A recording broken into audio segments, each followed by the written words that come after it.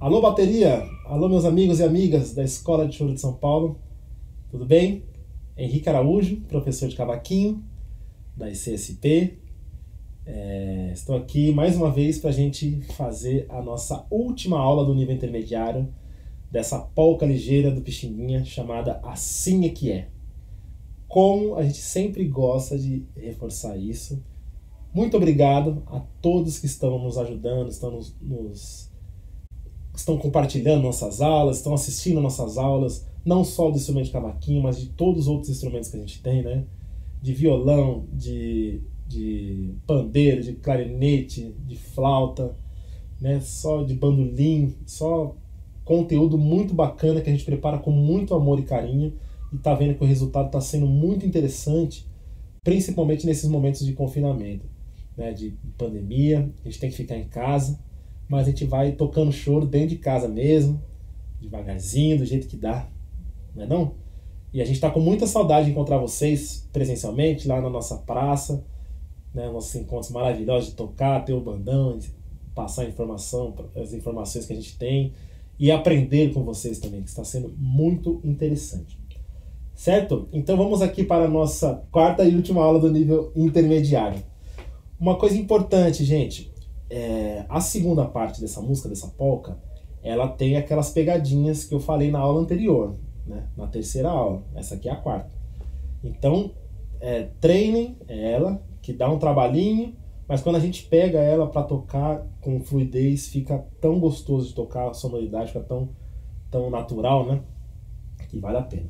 Certo? Uma coisa que, que interessante também falar da parte B, que foi da aula anterior, é é, que nas gravações que se tem aqui de registro, como eu falei na primeira aula lá das gravações, é, tanto do Pixinguinha, Pixinguinha na pauta, da orquestra do Pixinguinha na pauta, aquele vídeo né, que tem o Proveito tocando, que a gente colocou na primeira aula, né?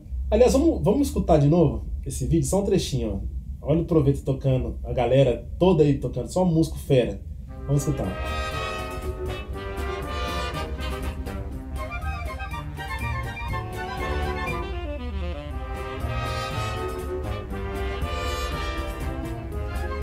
Demais, né? Nossa, fantástica. Essa gravação acho muito boa. Então, tanto essa gravação do pessoal da orquestra, quanto a gravação, a primeiro, primeiro registro que se tem dela, que é da de 1954, da gravadora Sinter, né, do disco mesmo assim que é, e da gravação do Isaías, que a gente mostrou essas três gravações na primeira aula, é, a segunda parte, a parte B, ela não se repete, né?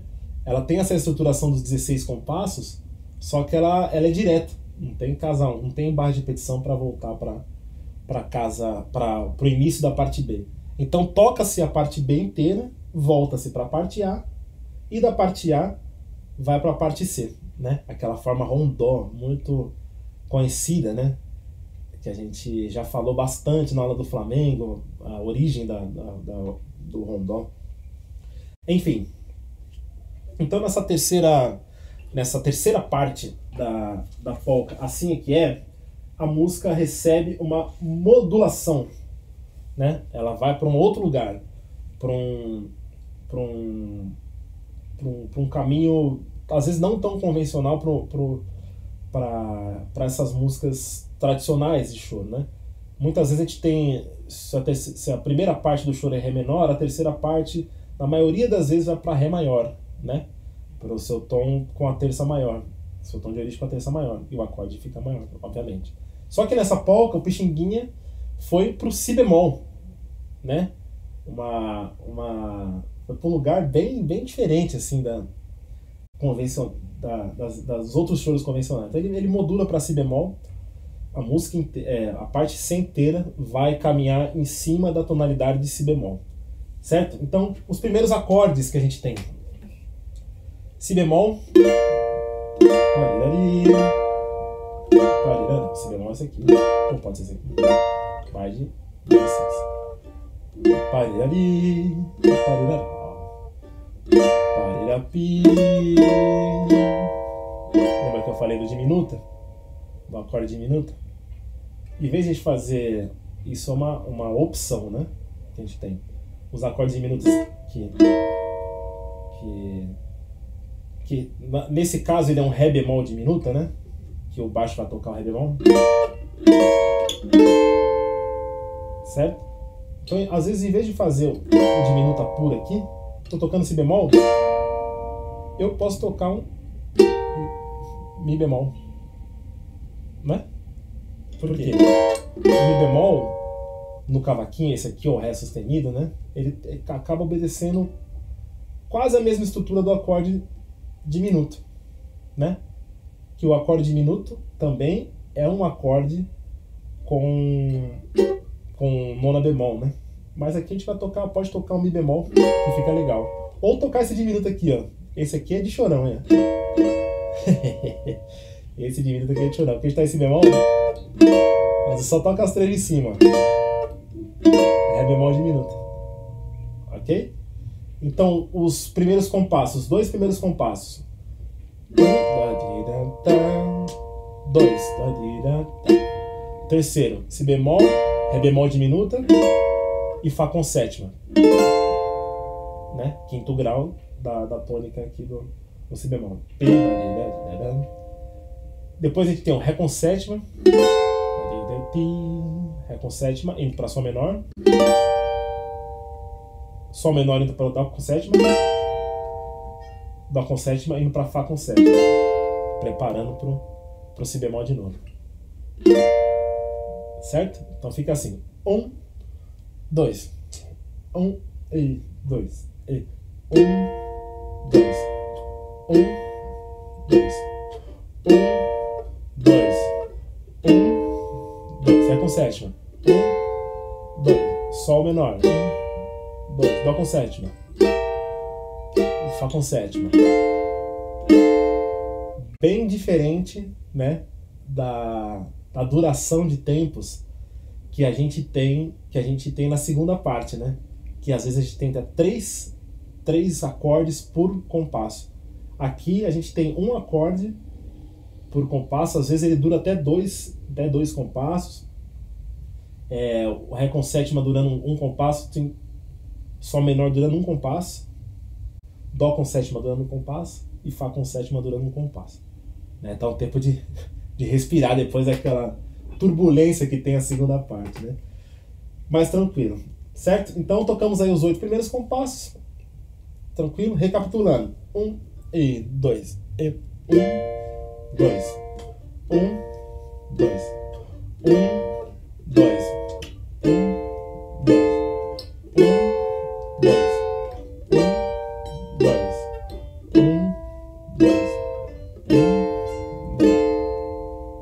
entrar agora nos próximos oito compassos.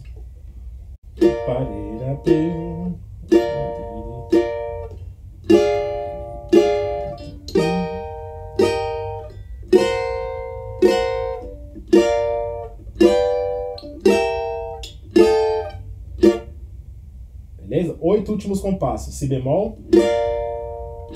Si bemol com sétima. Mais um tempo, si bemol com sétima. Mi bemol.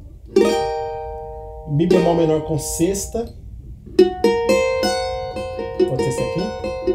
Funciona bem legal. Esse aqui funciona bem também. Eu gosto desse aqui. Esse aqui eu. Não. Esse aqui eu acho mais legal. Estamos trabalhando na região grave aqui, né? Essa região do instrumento. Então faz Mi bemol. Mi bemol menor com sexta. Si bemol. Sol com sétima no mesmo compasso, Dó com sétima no próximo compasso e Fá com sétima no próximo tempo, né? E encerra no Si bemol. Certo? Vamos tocar ela inteira de novo, a terceira parte, os 16 compassos. Tá bom? Um, dois. Um e dois. E um, dois. Um, dois. Um, dois, um, dois, um, dois. Só se preocupando com a harmonia. Dó, dó, fá, fá. Si bemol, si bemol com sétima, preparou? Mais um compasso. Mi bemol, mi bemol menor com sexta, si bemol, Sol com sétima, Dó com sétima, Fá sétima e Si bemol. Certo? Como é que fica isso com ritmo? Um, dois, um, dois.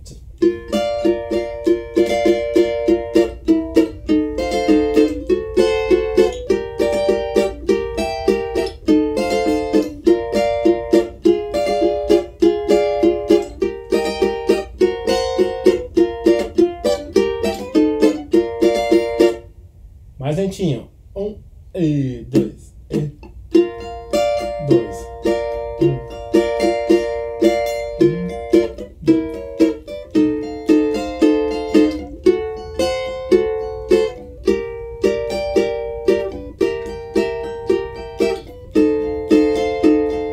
Não esqueça a levada aqui, gente, na cabeça. Não esqueça disso. Pum, pá, pum, pá, pum, pá, pá, pum. E as semicolcheias presentes também. Então fica tic-tac, tic-tac, tic-tac, tic-tac, tic. Sempre tic, né? Ó, pra baixo, né? Ou alternado.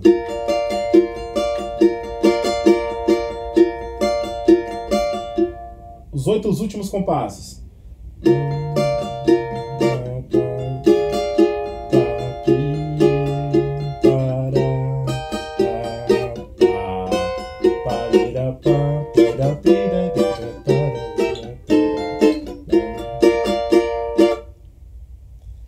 Certo? Sem segredo, essa daí, essa terceira parte é mais tranquilinha, muito mais intuitiva também, né? Para onde vai os acordes, esse caminho que é muito clássico do Pixinguinha, né? No quarto, no quarto compasso do, do último sistema ali, né?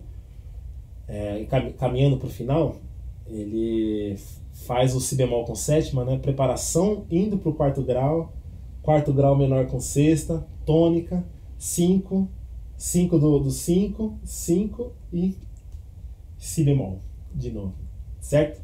Outra coisa muito legal que acontece nessa, nessa música, que é uma das genialidades, mais uma das genialidades do Pixinguinha, né?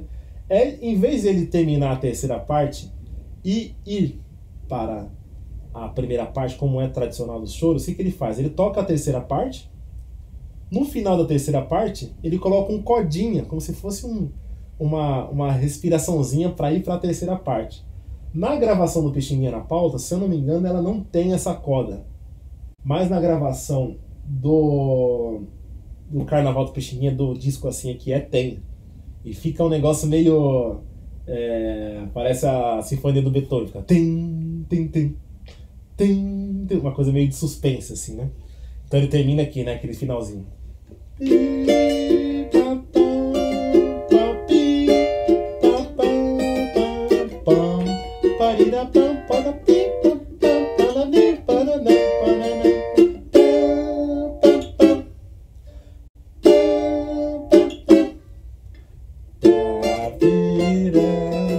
Certo? Entendeu? Ele faz um si bemol, aproveitando que a música termina em si bemol, só que ele põe si bemol com sétima. Si bemol com sétima, lá com sétima.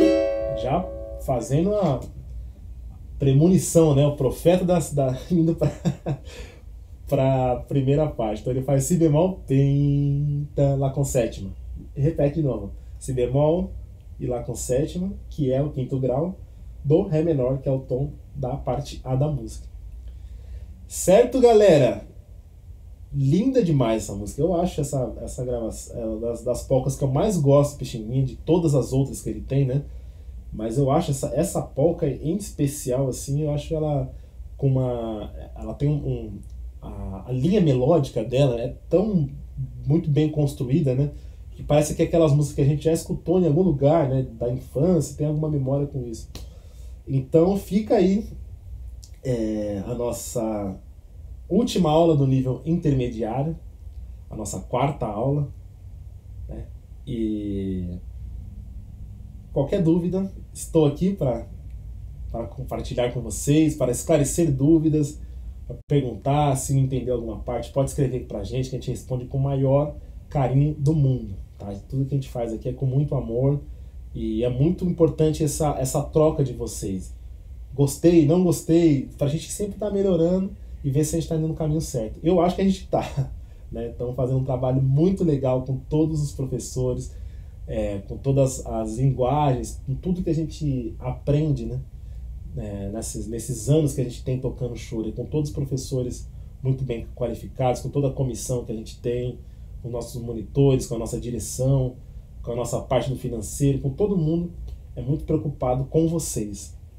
Tá bom, gente? Para encerrar, então, vamos tocar ela inteira, só a harmonia, para ver como é que como é que soa essa música tocando só a harmonia no cavaquinho.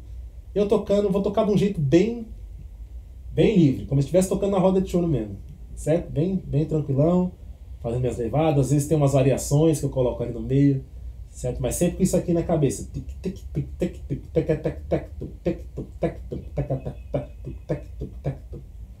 Sempre com essa figura rítmica aí na cabeça. Três, quatro.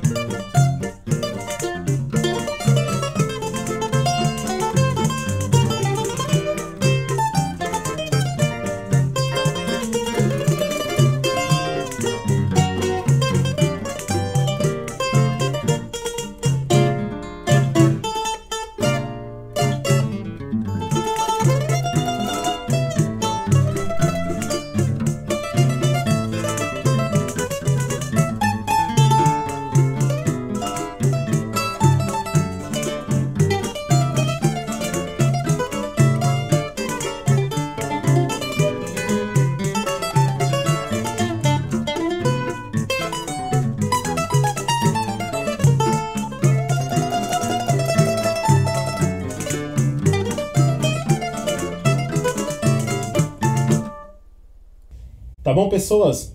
Até mais, muito axé pra gente. Nos vemos na primeira aula do nível avançado, certo? Nível avançado vai falar bastante da melodia da música.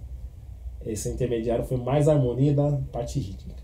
Certo? Nos vemos. Até mais, gente. Fica com Deus. Axé pra todo mundo.